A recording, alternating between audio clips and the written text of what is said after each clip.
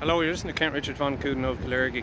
Today is Wednesday, the 6th of May, and uh, it's another day outside the courthouse here in the Four Courts. Uh, just crossing the bridge now. It's interesting to look at the Liffey here, see how high the water level is, but to see the, the mixture of incoming and outcoming tide as you can see where the stuff is actually being collected in the water there now.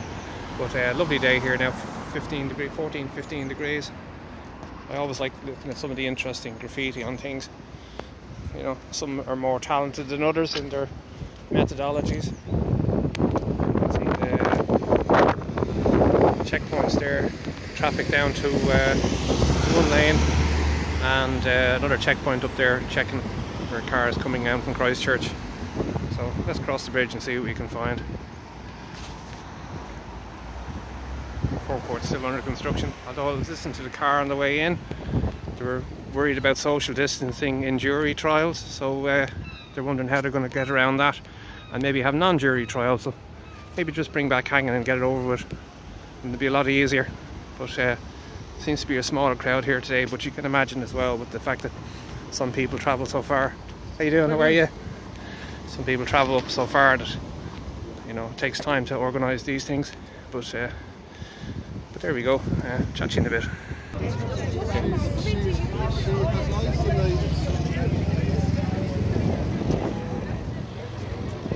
fellas, how are you getting on? Are you streaming now at the moment? Just focusing this way. So they look for names? Nice are they? rousing speech this morning. Yeah, it was quite good. Okay.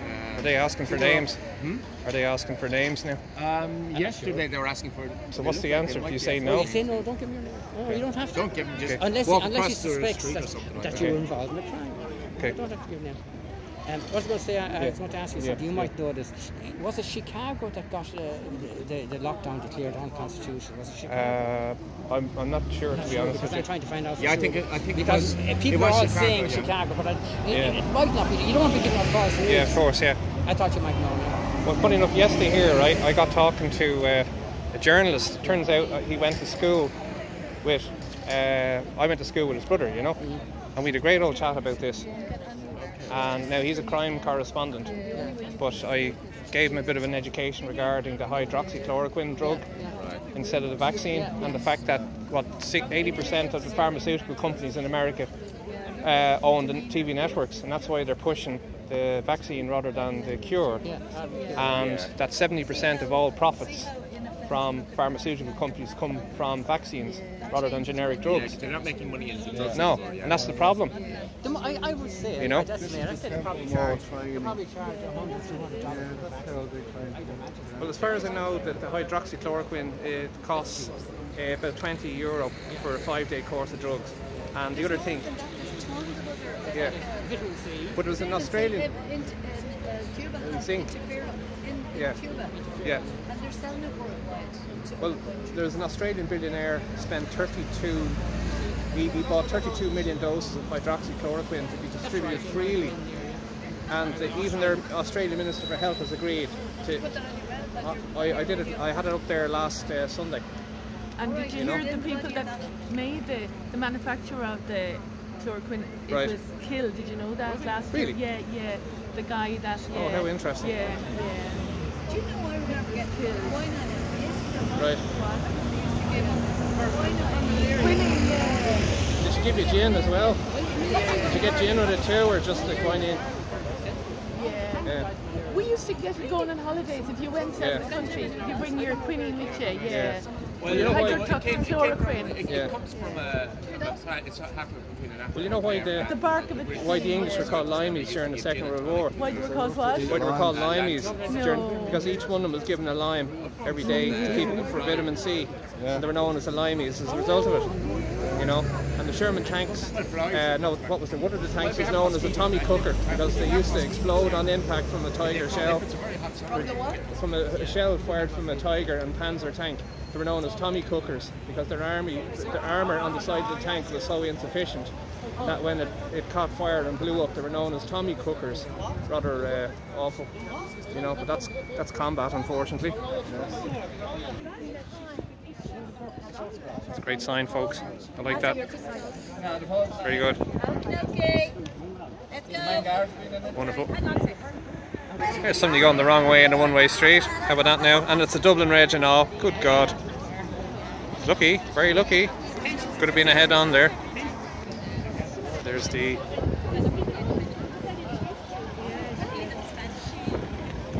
just looking at the buses going by here. Very few people on board the bus. It's a good crowd as usual. Livening up now. Hopefully they'll be down shortly and get a result.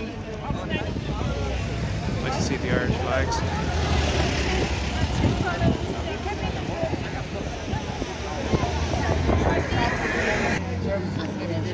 Now people say the tea card that's happened every year. You just don't do it. And Guinness was actually no test. But if you look at it, if you think they have it, it's, it's uh, we wait for them, but generally speaking, generally the RNA that tells you. Yeah. Yeah, they're telling you. They're telling you. That's all that is. I'm a professional. People, it's not even tested, they're putting down with COVID-19. That's how they're hyping the number. They keep the food in the people, they keep them locked down. Well, this is a test.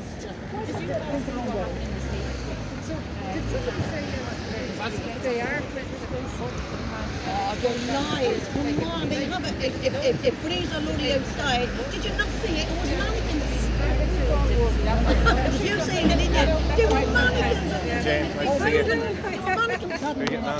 They were not yourself. Lovely. Yeah, just nice. I got roasted yesterday. I know, you can see it in your face. That's why I brought me hat. We're in in. They said the news footage, we're sending air footage. They said he is ready for a good laugh. Guys, is, it's uh, the They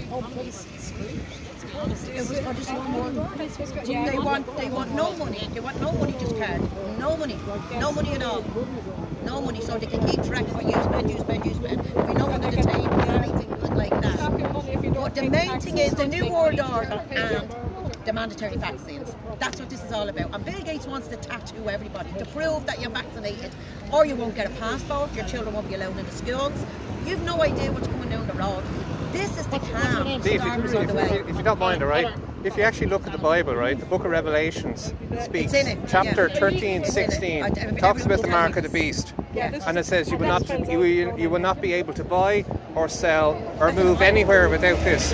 And technically, like to be honest with you, I'm kind of new to all this stuff, right? But I, I'm very concerned with the push towards mandatory vaccinations. Because if you think about it, there's a drug called hydroxychloroquine, all right? Now, Trump actually mentioned that in one of his press conferences, all right? And they were, the, the networks were so annoyed that they were considering, uh, instead of showing live his live speeches, right, but showing edited versions of his speeches. Now, the problem is 80% of the television networks in America are owned by pharmaceutical companies, and 70% of their profits come from vaccines rather than drugs. So it is in their interest to promote the vaccine. And the problem is, like with this drug hyd- hydroxychloroquine, it's been around for 70 years.